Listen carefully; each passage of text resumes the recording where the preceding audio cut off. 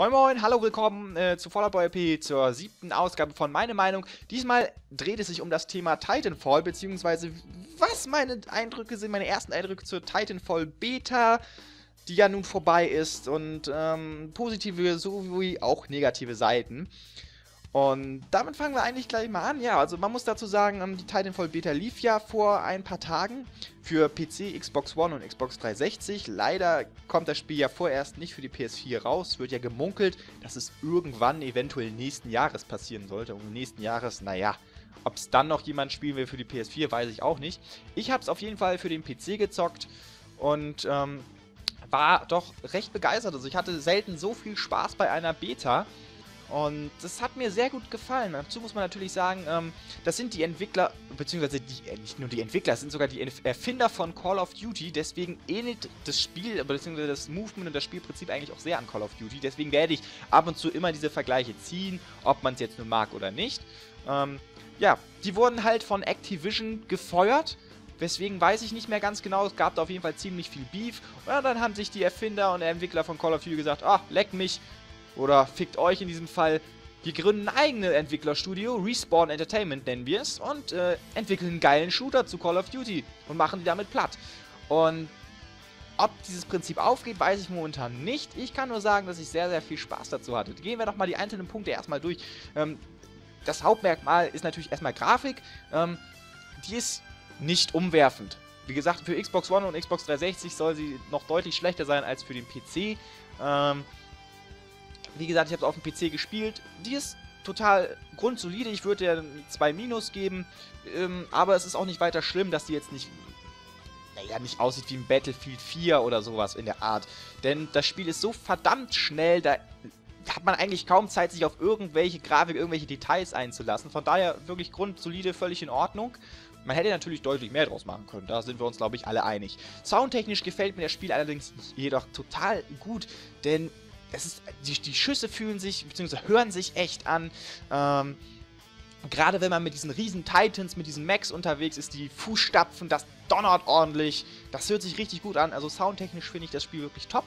Ähm, jetzt kommen wir mal wirklich zum, zum eigenartigen, zum, zum, wirklich coolen Gameplay. Also es hat sehr viele Call of Duty äh, Momente drin. Es spielt sich eigentlich auch fast ähnlich wie Call of Duty, nur dass es tatsächlich noch schneller ist als das Spiel. Ähm, und da habe ich am Anfang schon gestaunt, wo noch schneller als Call of Duty. Ich meine, Call of Duty ist ja schon ein schneller Shooter. Aber Titanfall legt da auf jeden Fall nochmal eine Schippe drauf. Das ist wirklich ein äh, fucking geniales, schnelles Spiel. Hm. Das ist, ich weiß gar nicht, kann man das irgendwie beschreiben? Es ist halt eine Mischung aus wirklich Ego-Shooter, also aus einem Call of Duty-Teil und äh, Mirror's Edge, also aus Parkour, wenn man so möchte. Man kann als Bodentrupp überall rauf, überall lang sprinten, überall hochklettern an Häuser. Man hat ein Jetpack sozusagen dabei, man kann Walljumps machen und Wallrides etc. pp. Man kommt überall hoch. Das ist schon verdammt gut. Und wenn man dann erstmal seinen Mac hat, seinen Titan, dann geht's auf dem Boden weiter und mit richtig fetter Action. Und das ist schon echt gut. Also das, das stimmt schon alles in sich. Und es hat mir auch wirklich viel Spaß bereitet. Man hat jetzt äh, natürlich zum Anfang nur zwei Karten gehabt. Doch die waren schon richtig gut designt, die haben mir wirklich gut gefallen. Es war eine Karte, die war etwas offener, ich weiß gar nicht mehr die Namen.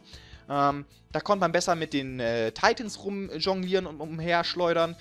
Und die andere war eher so ein bisschen auf Häuserkampf gedacht. Auch da ging das aber halt auch gut mit den Titans. Und ich weiß auch nicht, ehrlich gesagt, was mir mehr Spaß macht. Als Bodentrupp finde ich es geil, dass man so verdammt schnell ist und überall hin kann. Und als Mac finde ich es auch super geil, wenn man so viel Wumms hat einfach. Das ist schon cool. Man hat als Mac, äh, kann man sich natürlich verschiedene Waffen auswählen. Das ist ähnlich wie bei Call of Duty. Es gibt ein Level-System. Bei der Beta war das bis Level 14.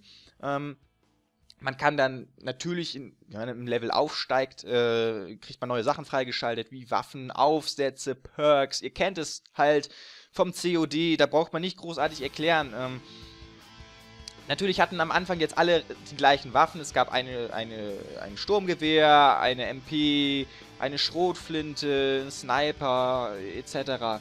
Das war es dann halt auch schon mit ein paar Aufsätze, mit ein paar Perks. Ähm, das wird auf jeden Fall noch vergrößert, das Arsenal. Das ist ja wohl, ist ja auch logisch. Hm. Fand ich aber bis jetzt schon gut. Auch die Waffen handeln sich so wie in dem besagten Spiel. Das sieht alles sehr, sehr gleich aus. Ähm, nur, dass es mir tatsächlich besser gefällt. Ähm, woran das wirklich liegt, kann man eigentlich schwer sagen. Es ist mal, ich will nicht wirklich sagen, es ist mal was anderes, denn das wäre ja gelogen.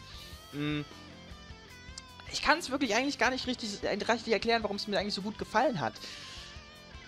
Wahrscheinlich einfach an diesen riesigen Max. Es war schon irgendwie geil.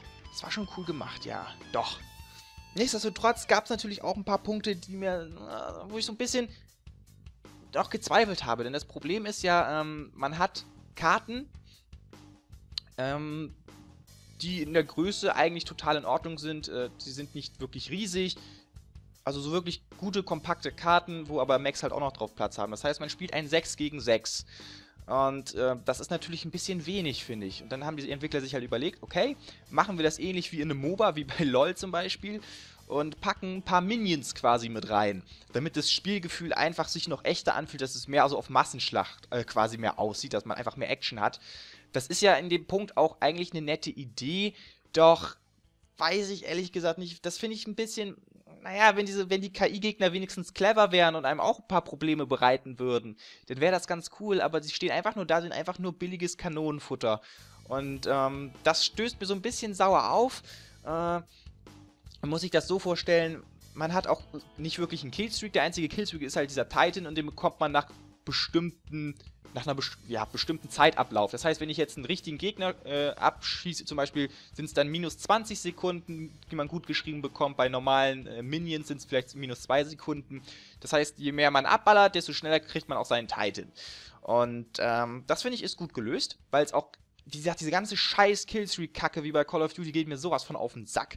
Ähm, finde ich total ätzend und da gibt's das quasi wirklich einfach nicht. Und ich hoffe auch nicht, dass sowas reinkommt, weil äh, das ist das Schlimmste überhaupt in Shootern. Irgendein random Scheiß und man stirbt einfach. Darum finde ich Call of Duty auch mehr und mehr einfach nur noch beschissen. Und naja, das finde ich ganz gut gelöst, aber halt mit diesem 6 gegen 6 finde ich ein bisschen wenig. Also klar, die haben gesagt, wenn man jetzt mehr Spieler machen würde, dann würde das Ganze zu unübersichtlich werden auf den Karten, was ich natürlich auch verstehen kann, denn das ist gerade richtig. Aber ich finde, da hätte man irgendwie noch eine Zwischenlösung für finden müssen. Welche genau kann ich nicht so sagen. Man hätte eventuell natürlich die Karten größer machen können, dass mehr Leute raufpassen, dann wäre es aber halt auch wieder ziemliches Rumgelaufe gewesen. Man hätte sonst auch die Titans kleiner machen können. Das ist was weiß ich, die sind ja, die sind bombastisch groß wie so ein Haus. Dann hätte man die vielleicht auf die Hälfte reduzieren können. Wäre aber natürlich auch nicht mehr so geil, wenn man dann in so einem Ding drin sitzen würde. Aber das werden die Entwickler mit Sicherheit noch hinkriegen. Mal sehen, wenn die Vollversion rauskommt, was dann draus wird. Der nächste Kritikpunkt, ähm, und damit ist es tatsächlich auch der letzte eigentlich schon, ist diese fürchterliche Pistole. Wie hieß sie denn noch? Die, die, die, nee, Stun Gun war das nicht. Habe ich schon wieder vergessen. Auf jeden Fall, das ist, zeugt einfach von Uncoolness, wenn man die benutzt. Das ist einfach Ah, grässlich. Es ist eine Pistole, mit der man nicht zielen muss. Die zielt für einen automatisch und macht auch noch guten Schaden und trifft hundertprozentig. Wobei ich mir dann denke, äh, warum baut man sowas in einen Shooter ein? Das hat doch nichts mehr mit Skill zu tun. Das ist einfach nur, nur overpowerte Scheiße. Und ich hoffe auch, dass die Entwickler das einsehen und den Kack da wieder rausnehmen. Zum Glück haben es nicht so viele benutzt, diese Dreckswaffe. Aber ganz ehrlich, das geht gar nicht für mich. Hallo? Eine Pistole, die automatisch anvisiert, ich drücke nur noch linke Maustaste und tot ist der Gegner. Wie scheiße ist denn das? Das ist doch für den Arsch. Also, das weiß ich nicht, was man sich dabei gedacht hat. Hoffentlich wird das wieder rausgenommen. Wenn die Punkte so ein bisschen verbessert werden, diese komische Gun da raus und das noch ein bisschen mehr Abwechslung und ähm, in das Spiel reinkommt.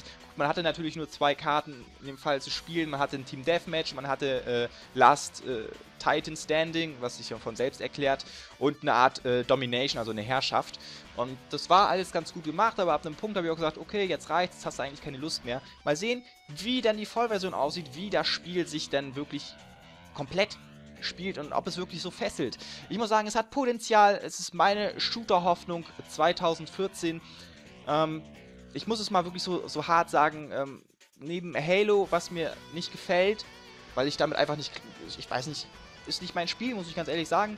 Ähm, Battlefield ist mir eigentlich immer zu groß, da brauche ich immer schon gleich, muss ich immer schon gleich mit dem ganzen Squad da anrücken. Ähm, und Call of Duty, was mich einfach nur noch anpisst, weil es einfach nur noch Rotze ist. Äh, ich habe saumäßig gerne Call of Duty gespielt damals, aber seit Black Ops 2 und jetzt Ghosts, oh, Katastrophe kann ich es nicht mehr anfassen. Es ist einfach für mich eins der schlechtesten Shooter geworden, was ich wirklich sehr, sehr schade finde.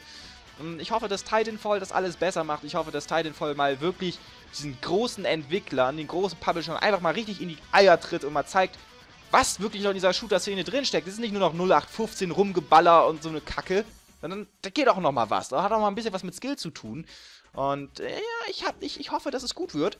All das will man dann natürlich erfahren, wenn das Spiel draußen ist, Mitte März. Ich werde es mir auf jeden Fall holen. Und das war es eigentlich auch schon. Wieder ein bisschen längeres Meine Meinung Video geworden. Ähm, aber ich wollte ein bisschen drüber philosophieren. Ich hätte natürlich noch viel, viel mehr äh, sagen können. Also mir hat es auf jeden Fall Spaß bereitet. Jetzt seid ihr mal dran. Schreibt in die Kommentare, was haltet ihr von dem Spiel? Habt ihr es gezockt? Werdet ihr euch kaufen? Was sind eure positiven Seiten? Was, sind, was sagt ihr, ist an dem Spiel noch nicht so gut? Was kann man noch verbessern? Mich würde es einfach mal interessieren. Und wenn ihr natürlich auch ein anderes Thema habt für meine Meinung, dann da unten in die Kommentare rein. Ich werde es mir durchlesen. Vielleicht kommt das Thema dran und ihr werdet namentlich erwähnt. Wer weiß, vielleicht kriegt ihr dann auch noch 100 Euro von mir. Nein, eigentlich nicht, das schneide ich lieber raus. Ähm, ja, würde mich interessieren. Ich hoffe, ihr gebt einen Daumen nach oben, ihr schreibt einen Kommentar rein und wir sehen uns auf jeden Fall in der nächsten Folge wieder. PS, ich musste dieses Video neu machen, weil YouTube einen scheiß Soundbug drin hatte. Man konnte meine Stimme nicht mehr hören. Ich habe nur noch pantomimisch irgendwas gemacht. Deswegen musste ich nochmal neu aufnehmen, mh, hm, da ich auch leider dieses, mein gerendertes Material schon in den Papierkorb geschmissen hatte und gelöscht habe. Sehr gut. Danke YouTube dafür. Ich warte jetzt hier erstmal ab. Ich sage Tschüss, auf Wiedersehen. Bis zum nächsten Mal. Steven von Volleyball. Nam nam dam da da dam dam dam dam dam da da dam dam dam dam dam da da dam dam haha Wolfenstein la la la aua la la la la la la la Okay, reicht auch, ne?